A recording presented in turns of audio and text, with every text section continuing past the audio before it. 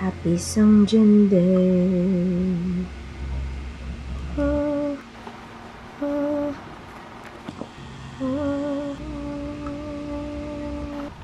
So yesterday was kind of a vlogging fail.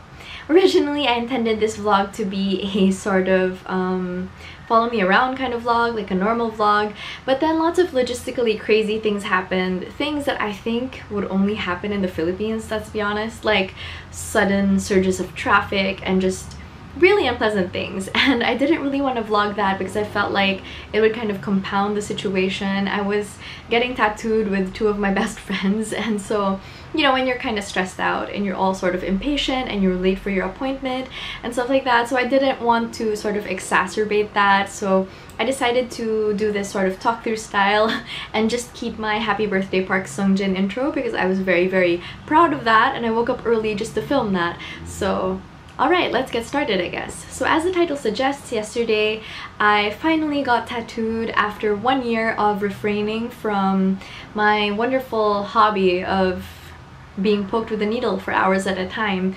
And yesterday I got two day 6 tattoos. So before we start, I guess it's important for me to say that I booked this appointment not with those tattoos in mind. I booked this appointment for my forearm tattoo, which I also got. It's a crescent moon with flowers and different peony buds. This design is something that I've been thinking about for a really long time because I saw a couple of other sort of really pretty um, patterns and designs similar to this but none of them used peonies like there was one that used roses and then another one that used daisies and tulips I think but none of them used peonies. And for like most of my tattoos I have um, peonies or like peony inspired things. And so I decided that I was going to book that appointment for 2018 and this is something that's sort of been a long time coming. I decided to get the day 6 tattoos alongside this sort of crescent moon thing because their second album came out in December and it just sort of caught me off guard that they named it Moonrise and I'm not sure if this is sort of a projection of my skepticism or of my cynicism or of just me expecting people to be kind of prosaic and predictable but I had somehow expected them to name it Sunset. And so when they named it Moonrise, I was like super duper elated. Also because the theme of most of my tattoos are flowers and crescent moons. Like I have crescent moons on my wrists, I have a crescent moon tattoo on my ribs, like it's a hand reaching out for a crescent moon. And I got that tattoo a little over a year ago actually just to sort of remind myself to reach for my dreams and to just you know, keep going. Like, even if things are hard, even if gravity is against you, just, you know, keep reaching for that moon, keep aiming for the effort of trying to be the best you that you can be. And I've been following Day 6 since the day and I'm really happy with how the fandom has been growing. To be honest, everything aside, like all of the fandom stuff and like who's the cutest or whatever, the truth is that I just love their music and it really really resonates with me and um, when the b-side for december came out i was just like okay um, okay you know. Um, i think that this is something that i can do and i think that it's something that i can commit to without ever regretting it. Like no matter what happens even if one day i end up not following them anymore um, i think that i can get these tattoos and live with myself because it's ultimately a message that I feel will stand the test of time. Okay, so now I guess you guys are probably like, holy crap, like just tell us what it is, okay? So I decided to get a Better Better tattoo and Better Better is the first track on the album and also the b-side for December. It's just such an uplifting track and the first time that I listened to it without like the translation or without the lyrics, the thing that I love the most about it is that it really sounds like you're being lifted up and out of a bad mood. So this opens like with a guitar intro and that guitar intro is freaking genius and very very reminiscent of late Beatles stuff. And I'm like a fool for late Beatles stuff especially stuff that they played on the rooftop which was their last concert together as the Beatles. So when I heard that intro I was like oh man like this is gonna be a sad song. Like this is gonna be kind of like uh, don't let me down and stuff like that.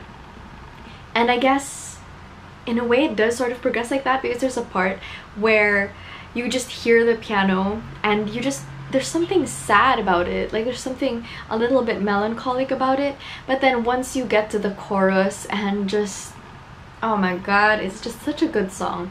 And before this I had contemplated getting an I need somebody tattoo but I wouldn't know like what to get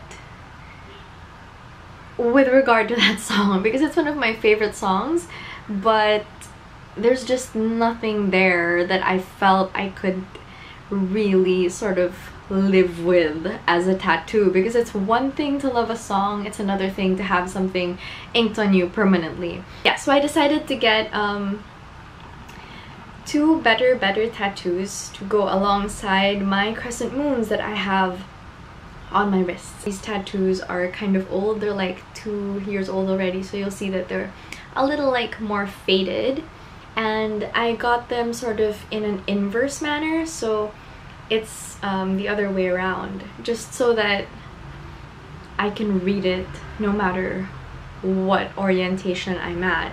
And that song is a love song. That song is a song about being so in love with someone that you want to be better for them. And the only person that I can 100% think about when I hear that song is it sounds like a song to yourself. You know, it sounds like learning to accept yourself for who you are and having that bleed out into being kind to other people. And it's just something that resonates so well with me especially because um, I do write and I do read a lot. And I also have a booktube channel which is my main channel. Like this channel is just kind of for shits and giggles and when you read as many books as I do at a time I guess sometimes you kind of forget about the fact that literature is not something that exists in a vacuum and literature isn't something that you do for the sake of reading. It's something that has to sort of transcend that and bleed into your real life. Like it has to be an exercise of empathy and yeah um, I just felt like it would be a really really good reminder of that.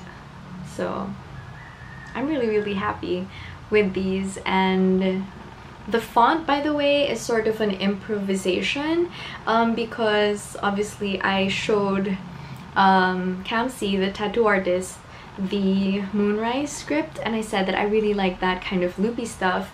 And she said that that was great but then obviously there's no B in Moonrise, there's no T in Moonrise, so we would have to improvise on those letters. So what we did was we checked um, this website that hosts free fonts and stuff, and she sort of did a study combining the B and the T in that and sort of adjusting it to the Moonrise font. Like the one that we found to base it off of was a lot thicker and sort of more straight. Like these are a little bit slanted.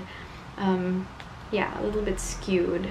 So also I do yoga and if you put your hands together and do the namaste thing, it just works. Like namaste, try to be a better person. How's about that? So I think that's gonna be it for this talk through because this video is already super duper long. Thank you guys for watching and I hope that this was fun. Let me know if you have any sort of music or band inspired tattoos and like this video if you liked it, subscribe if you wanna. Bye!